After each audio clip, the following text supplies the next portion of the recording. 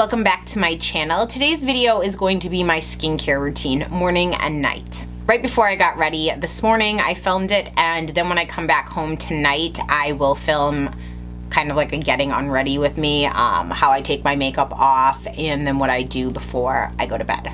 My skincare routine has changed over the years and I'm sure this won't be my last skincare video because as I find products I really like, I bring them into my regimen. So the products I use mostly are Obagi and they can be costly, but you can buy the individual products. I did buy the Obagi kits from my dermatologist in the beginning um, and I was only allowed to buy them in kits from her. She didn't sell like individual pieces and it is an investment. Um, I did find kits online for like half the cost of my dermatologist one reason being I am in San Francisco and it is a very expensive city, so everything is more because rent is so much more, so they have to kind of make it up but I did find the same exact kit. Um, a lot of times products you find online when they're half the cost can be knockoff. So what I did is I ordered a brand new kit and I compared it with the kit I got from my dermatologist from um, the stamps to the labels, the packaging, just seeing everything really, you know. I did find that they are. I'm going to link, I've bought from two different websites, so I will link them below. It is buyer beware though. I mean, you, I guess you never really do know what you're going to get. There is something for every budget point. Um, I do like quite a few different products, so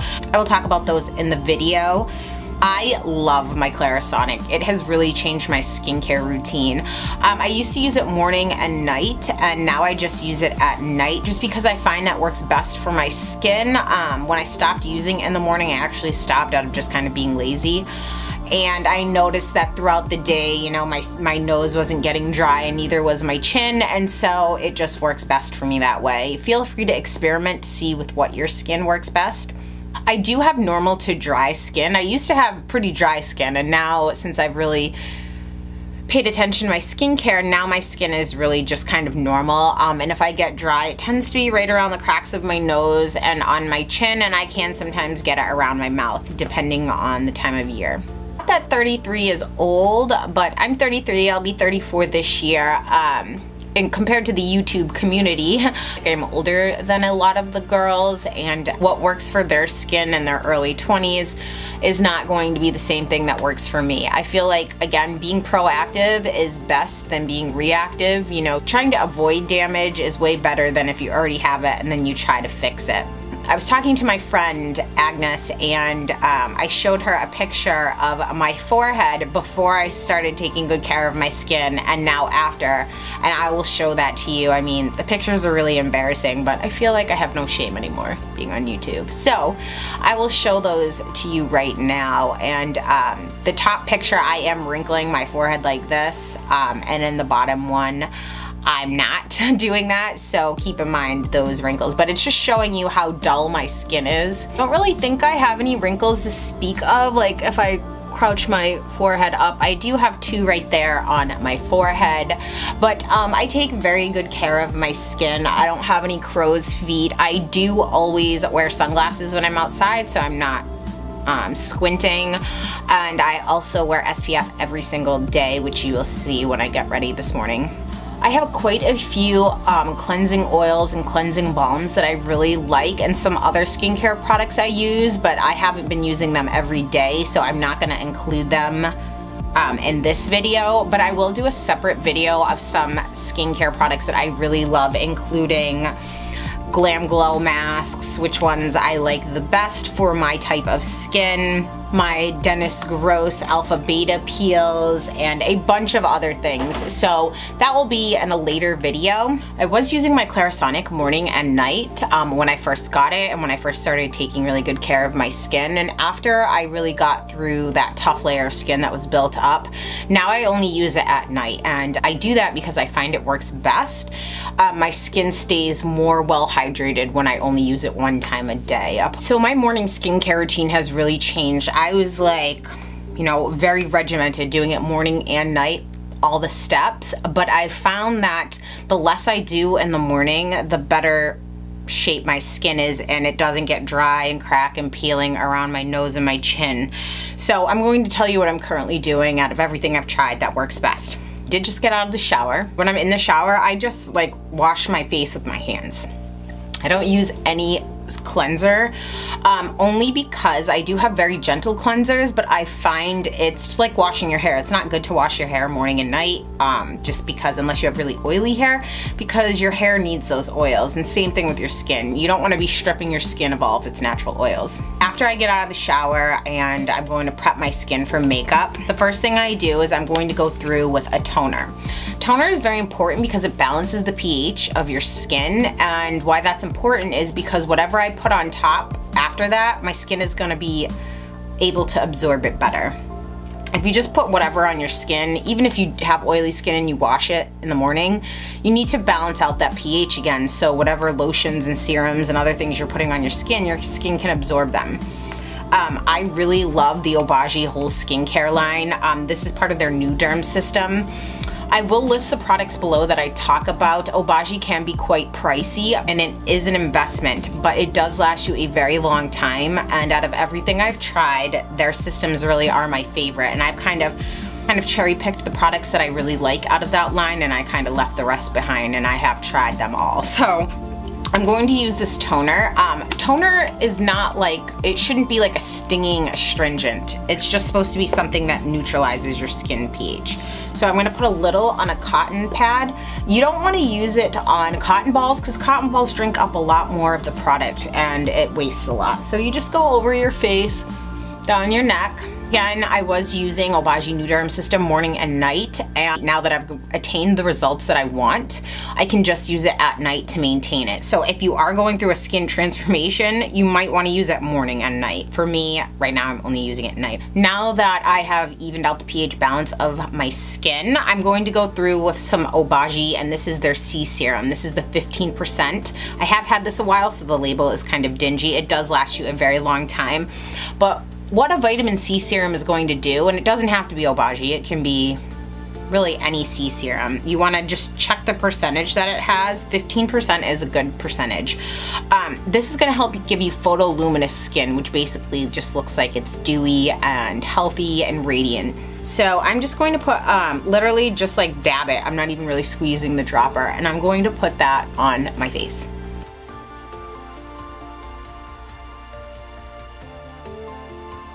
Your skin can never have too many vitamins. And if I feel like it in the morning also, I will go through with my Obagi. This is their C serum. This is their clarifying serum.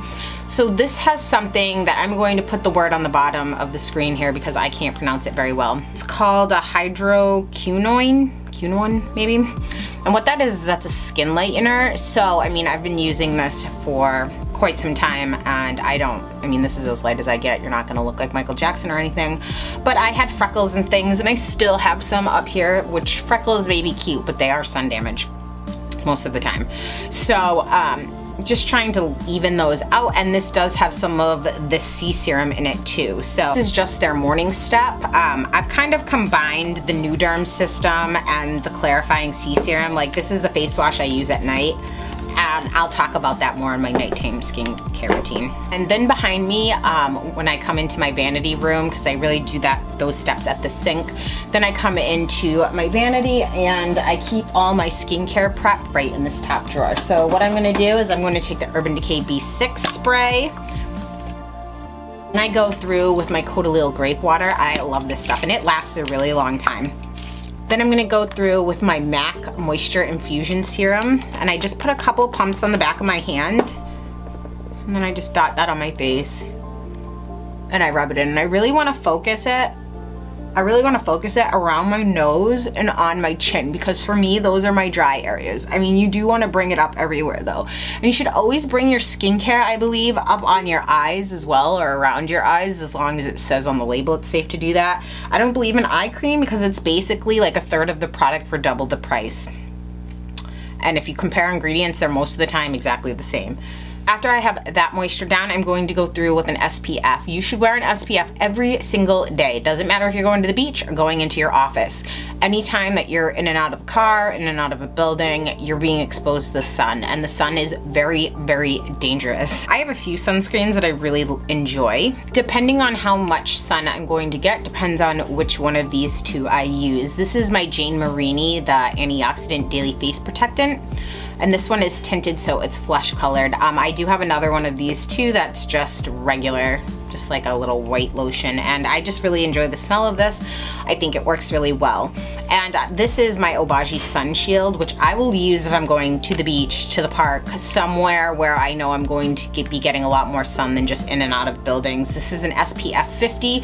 This is a physical sunblock. This has zinc oxide in it which basically lays down a layer on your skin that reflects the UVA and UVBs from your skin. This Jan Marini is a chemical sunblock, which means they have ingredients in here that absorb the UVA and UVB rays and turn them into something else that's not harmful. It is Sunday and I am going to be going to the park with my boyfriend, so for that I am going to use my Obagi Sun Shield. Physical sunblocks are more expensive than chemical ones because zinc oxide is a more expensive ingredient, so just be aware of that when you're looking at them and you're like, whoa, why is this one so much more? So I'm going to dot this everywhere. And then I also take some and I rub it on the backs of my hands because your hands get exposed to sun too and I feel like people forget that and I you can always tell somebody's age by the, their hands. Even if they take really good care of their skin, you gotta check kind of their neck too on the back of their hands.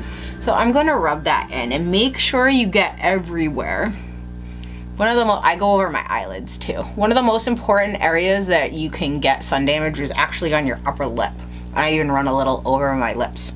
Um, for some reason, your upper lip is more susceptible to um, sunspots and burns and all of that good stuff. So I really go down, I bring it down my neck, and you should rub a little on your chest as well.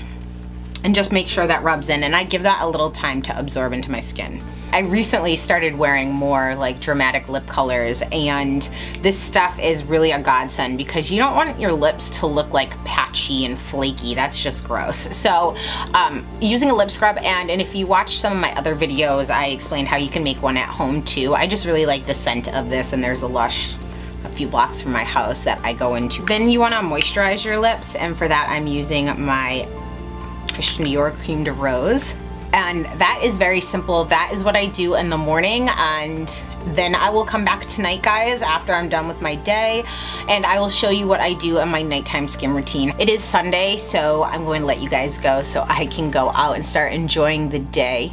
And I will see you guys later tonight when I come home and take off my makeup. Bye!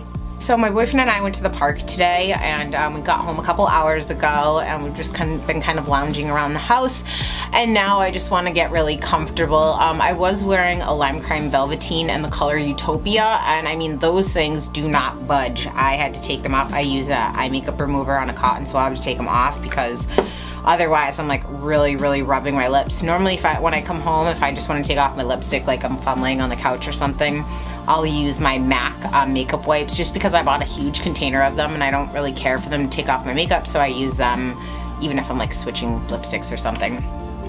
But um, that really wasn't getting it off so I used some eye makeup remover. But other than that I haven't messed around with anything else on my makeup.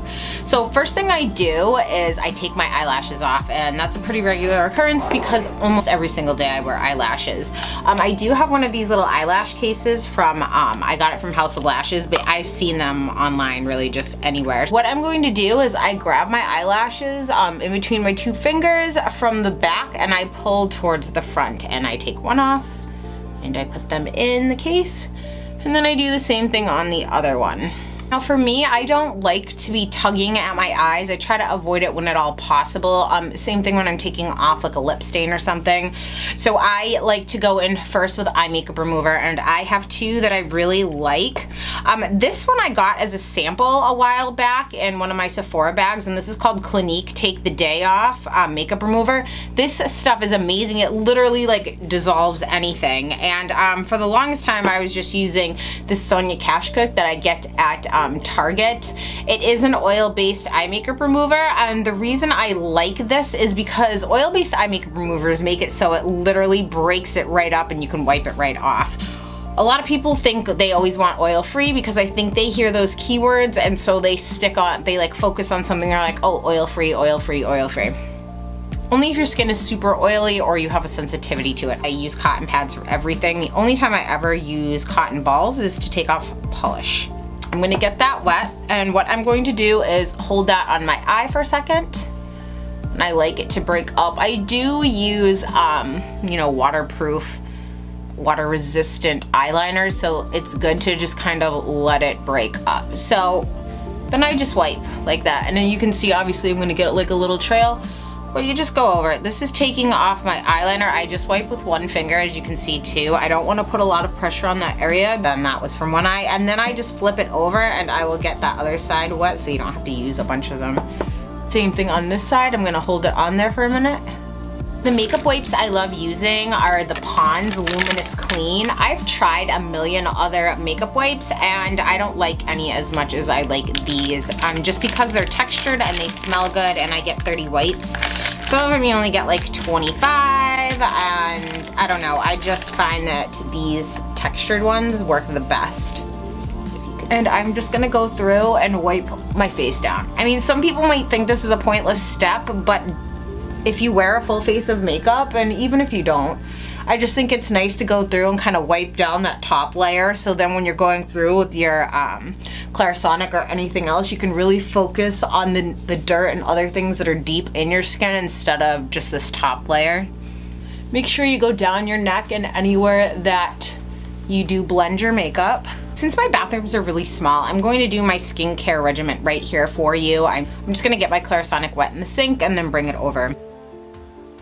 I got um, these, I'll show you. I got them in like a pack of, I think four or five, maybe it was just three on Amazon and I will link those below but these are terry cloth um, like spa headbands and the reason I really like these is because they keep my hair out of my face and they keep them it keeps it dry without having like a, a line on there from like a headband you know how it can cause a dent? This is my Clarisonic. This is the Mia 2 um, the difference between the first Mia and this one is that the Mia 2 has two speeds a high and a low and you control that with this arrow up on the bottom and then this bottom button is the power button. So once you select the speed, it will stay on that every time you turn it on and once it's on, you can then adjust it from the speed if you want it to go down or up.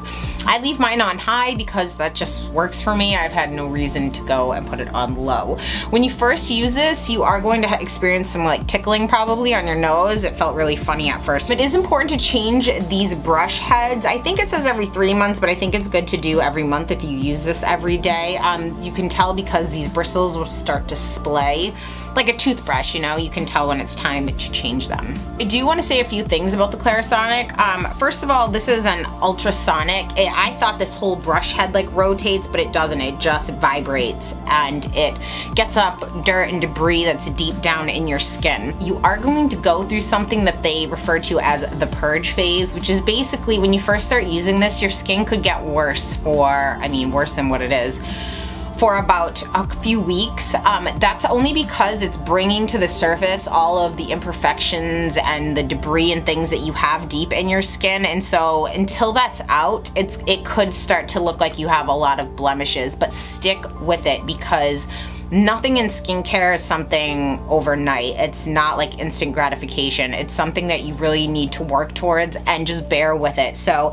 as long as you know that, this will be your best friend after a little while. So I did just get this wet in my sink and next I'm gonna put some face wash on this. And for me, um, currently I'm using the Obagi C Serum line, their C Cleansing Gel. Um, I love this face wash. It does give you that photoluminosity to your skin because of all the vitamin C in there. Something else that I use that's not as expensive that I actually loved, I got it as a sample in there and I used it when I ran on my face wash and I was in between, was this refreshing gel cleanser from Clarisonic. I really, really enjoyed this and I will be purchasing this again. I really liked it. It didn't dry my skin out. It didn't leave it feeling tight. Um, typically when your skin is tight, it's because it's dry. what I'm going to do is I'm just going to put a drop of this face wash on here. You don't need a ton. The way the Clarisonic works is it goes into zones. So when you first turn it on, the first zone is your nose and your mouth area. It will beep, then you move to forehead. Beep, one cheek, beep, other cheek, and then it will turn off. I'll probably fast forward so you don't have to be through the whole process.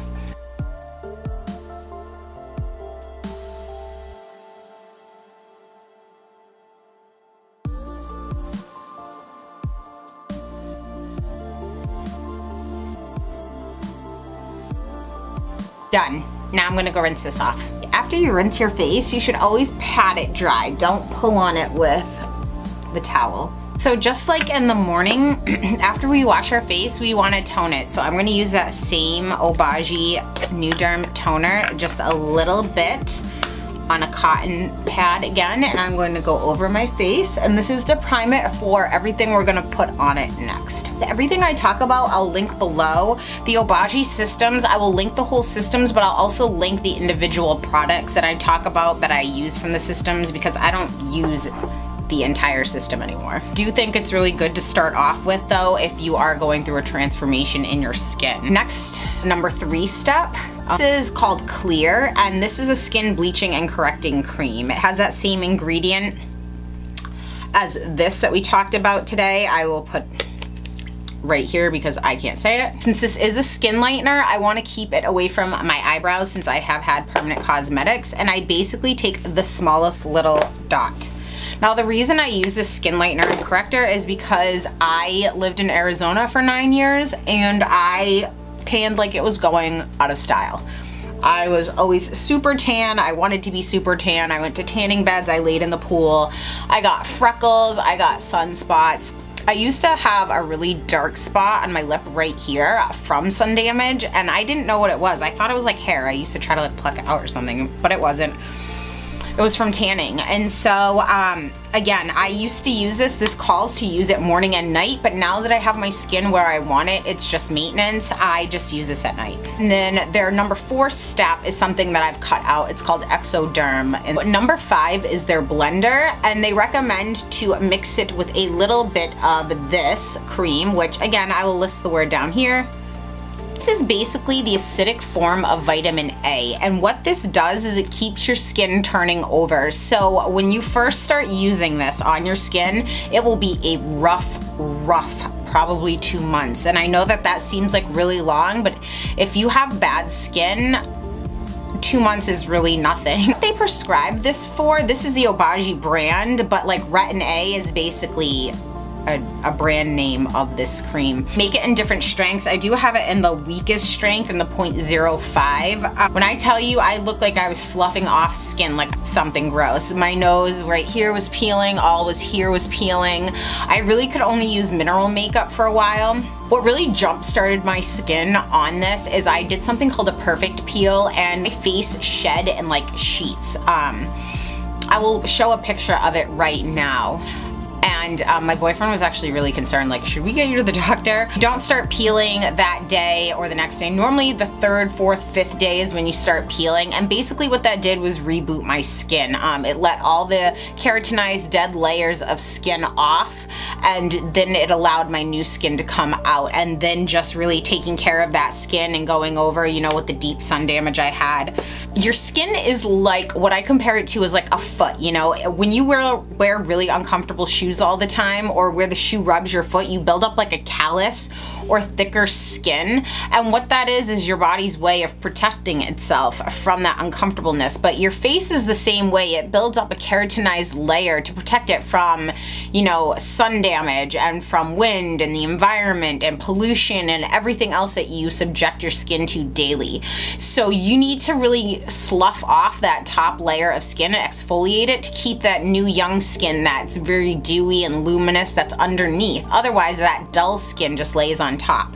When you do do that though, your skin is way more susceptible to like sun damage and things. So when I go out, if I'm on a patio, I have a big floppy hat on or I bring, when we go to the park, I have sunscreen on and if we're staying out all day, we went and watched the Blue Angels. I had an umbrella that I used for shade and that's because I don't want to damage that skin. It's like baby skin. So if you're interested in um, the Perfect Peel or, you know, I've had a few chemical peels my life now. Um, the Perfect Peel is a medium level peel. I did show you that picture. Um, I'd be happy to answer any questions that you may have. Here in California, it ran me about $180. It could be cheaper wherever you are. Again, it always depends on where you live um, because higher the rent, the higher the cost of everything else. I'm going to mix these two. What I do is I take a very small amount of the blender on my finger, just like a very small amount. And I take a little bit of this. I just literally a dot of it in there if you can see. Like whatever comes up out of there, you just dot your finger in. If you use this like a lotion on your face, you will be very sorry because your skin will hate you. And you just mix the two and then I just dot it. Again, I wanna stay away from where my eyebrows were and really rub this in. I wanna avoid too my nose right here and really like the fold in my chin, but I try to just really avoid my nose because that's where it will start to get really dry. You do wanna bring this down like onto your neck and things too. It works best if you don't have a shirt on that's a different kind of video, not something we'll be doing here. I don't use this every night anymore. When I was really working on getting my skin to where it was, where I needed it to be, I started trying to use this every day. My skin was just not having it. It was very dry and sensitive. So I went to every other day until my skin got a little accustomed to it. Then I went to every day. Um, this does make your natural skin thinner. Um, that's because it's constantly turning over. Not thinner like you can't see any like veins and things in my face, but you're not supposed to get your eyebrows waxed or any kind of facial waxing anymore. Um, I did have to start getting my eyebrows threaded. You can pluck them and things. It's just not good to be ripping, you know, it's like baby skin. Something important to note is I did dry my face very well, but they do recommend a lot of times to not put this on until about 30 minutes after you've washed your face to ensure it's completely dry. And the reason is, is because when you have water on your face and you put anything on it, your face absorbs it that much quicker. I don't know why that is, but it, it does do that. And that can increase your um, risk of sensitivity to this product if you've already had problems. Um, again, my face was very dry and I am used to this and I don't use it. I use it probably once a week, maybe once every other week now just depending. If you have a blemish or something and you put this on, it will be significantly better by the morning. This is prescription strength, uh, by prescription only. There are some websites that you can buy it off of. Again, it's buyer beware.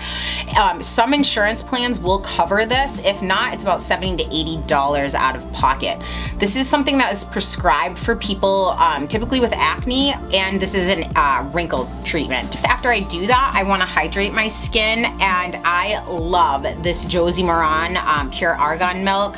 I have been through so many bottles of it, I just can't get enough of it. Why this is very unique is they've basically pressurized, like as you know, oil and water do not mix they mixed it. They pressurized the oil so much that it is suspended in water. And what that does is it gives you the moisture of water with the protection of oil. Oil is not a moisturizer. Um, typically oil will lock in whatever moisture you have in your skin. So if you were to have severely dry skin, you could put this on and then follow up with one of her oils on top. I don't like that because I feel very greasy and I don't think my skin needs it. What I do is I take one drop, just a drop on this cheek, a drop on my other cheek, drop on my forehead, and then a drop on my chin and I bring that up on my nose. And you do want to bring it down onto your neck too, whatever you're doing to your face. And then I just took the clip and everything out of my hair, lip balm off that I put on. And then I'm going to go over my lips with Peter Thomas Roth Un-Wrinkle Lip Treatment. Um, I really enjoy this. It really helped my lips um, last winter when they were like really dry. They started like peeling in spots. This has a lot of peptides in it and it basically um, is an anti-ager for your lips and it does provide a tingle, kind of like a plumping agent and I just like this at night. I don't use it in the morning because I feel like it makes my lipstick like ball up or um, get really patchy. That is basically my skincare um, at night. Certain days of the week, if I feel like it, I will use, after I've washed my face, I won't do any of the other steps. I will go through with a Glam Glow mask. Um, this Power Mud is my favorite overall. This turns into a cleansing oil as you remove it from your skin. One is called the Youth Mud and I actually got a little mini baby size in the checkout line to try um, to see if I really liked it because these are costly. These are $69 and the small little one was $19.99 I believe. So then the other day when I was in Sephora, I grabbed another one that was in the checkout line because I was being too cheap to buy the $69 one. I like the smell of this one the best. Um, the white one, this is um, more abrasive though. This feels like granules of sand on your face as you're rubbing it off and it really exfoliates your skin, which is good to do occasionally. For me, not very often. Well, um, white pot mask is one that's really good for um, clearing your skin of any blemishes. So I don't have that, that one right now because I'm out of it. But that one I'll put on a blemish or something and go to bed actually with it. And then in the morning it's significantly better. And then I do have this Glam Glow. This is the Thirsty Mud. I use this um, the night before I go on flights because typically if you've ever noticed your skin will get blemishes sometimes after flights. That's because the air on planes is really dry and stale and recycled. So it's really good to keep your skin really well hydrated during flights. So if it's on a really long flight, like if I'm going back to Boston or something or New York, I will like slather this on my face and then sit on the plane. Um, you can't tell that it's a, it doesn't dry like a mud mask. It basically smells like coconut. This is what it looks like inside. It kind of smells like a tanning just goes on like a lotion actually and then I'll just sit with this on the plane and my skin will be in good condition when I get there. Um, I've never had a breakout using any of these masks do you have some um, other cleansing oils and things I told you I will get into at a later date. I do have a lot of these um, cleansing balms, which I can talk about too. If you're interested, please leave it in the comment section down below and I'll talk about that. Those go on your face while your face is dry. They basically turn into an oil as you work them on your face and it removes all your makeup. On an exceptionally dry skin day, those are what I prefer. And something that I really, really love, I've added into my skincare regimen are these um, Dr. Dennis Gross Alpha Beta Peels. These are the extra strength formula. As you can see, I'm all gone. I've gone through like three or four of these boxes. I find them well worth the money. Uh, this video is already gonna be super long, so I don't wanna get into too many details about other things. If you guys have any questions or comments, please leave them in the comment section down below. And if you'd like me to dive deeper into any of the categories or products that I've discussed, please let me know and I will do so. I will do a separate video on the cleansing oils, cleansing balms, and mud masks that I love, that I've tried, that I feel like really make a difference in your skin instead of going and throwing your hard-earned money away. One thing that's important to note is don't ever get, like if you see a, um, an eye cream or a face cream that's in a jar like this, don't get it. Because as soon as you open it up, you've contaminated it with air and all the ingredients in there will just stop working. You need something that is in a pump, a squeeze bottle, something to get out. And if you are using something that's a serum that's in a dropper like this, make sure that the container is dark because that stops light from breaking it up and basically ruining what's inside. If you guys have any skincare products that you personally love that I haven't mentioned, please leave in the comment section down below so I can give them a try. I'm always up to try new things. Thanks for tuning in as always guys and I'll see you next time. Bye!